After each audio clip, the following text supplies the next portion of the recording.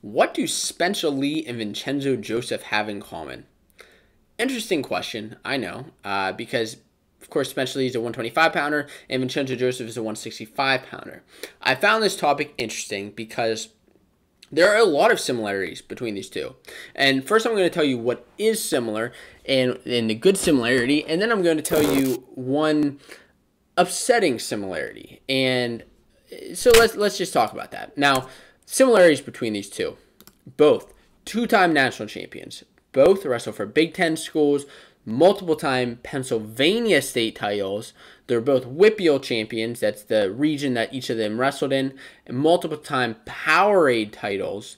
And they both wrestled for Young Guns at, at, at points. So that's what that's the similarities between these two.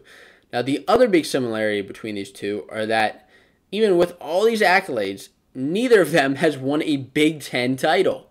Neither of them. I, I know it, it's it's it's kind of hard to believe that neither of them have won a Big Ten title. Now, I'm going to say discuss why none, neither of them have won a Big Ten title and if they could win a Big Ten title this year. Now, I think they both are strong favorites to win uh, national nationals this year, eh, but Big Tens could be tough for both of them. So in the past, we've seen Spencer Lee uh, come out in his freshman year and some of his toughest competition. Had a couple losses on that season, but his toughest competition was against NATO Nathan Tomasello of Ohio State. They wrestled in the duel when Spencer Lee won, but at Big Tens, that's whenever NATO beat Spencer Lee in the semifinals and ended up dropping down Lee to the cons. He's ended up coming back, taking third it was a 2 1 loss, and it was interesting is he actually beat Sebastian Rivera in the semifinals, beating him by a major 12 to 0, which is hard to believe nowadays with how these two have been wrestling kind of back and forth. Now, later at Nationals, he did end up avenging that loss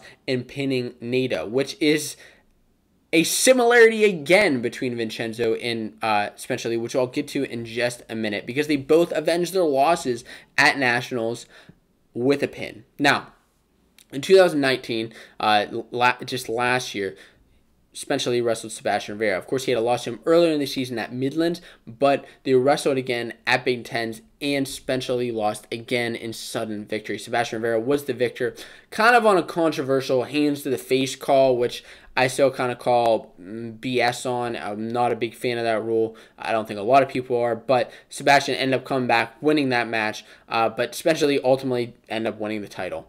And then in 2020, that's this year at Big Ten tournaments, Lee is going to see competition from Brock Hudkins of Indiana, Michael DeAugustino of Northwestern, uh, Patrick McKee of Minnesota. I think all these are you know, going to give him a little bit of a match, but I think ultimately Spencer Lee has a very, very, it's, I think it's his strongest uh, chance to win a Big Ten championship that he's ever had. Now, on the opposite side of that, we have Vincenzo Joseph. Vincenzo Joseph, who has been constantly I shouldn't say constantly, who's been beaten down in the past at Big Tens, just hasn't been his tournament. Um, wrestled great seasons, wrestled great nationals, but just hasn't been his tournament at Big Tens. Uh, first of all, in 2017, his first time wrestling Big Tens, he had a loss to Imar in the semifinals, eight to five loss. He lost earlier that season, also in a duel. Now, what the great thing about that is that that year, that's when he ended up pinning Imar in the national finals uh, after defeating a couple guys like Daniel Lewis of Missouri and Logan Massa of Michigan. A great national tournament for Vincenzo Joseph, but just didn't quite get there at Big Tens. The following year, uh, he lost again to Imar, this time in the finals, lost 4 to 1, but they did wrestle again in the national finals whenever uh, Vincenzo Joseph did ultimately win that. And then last year was whenever he wrestled Marinelli at Big Tens.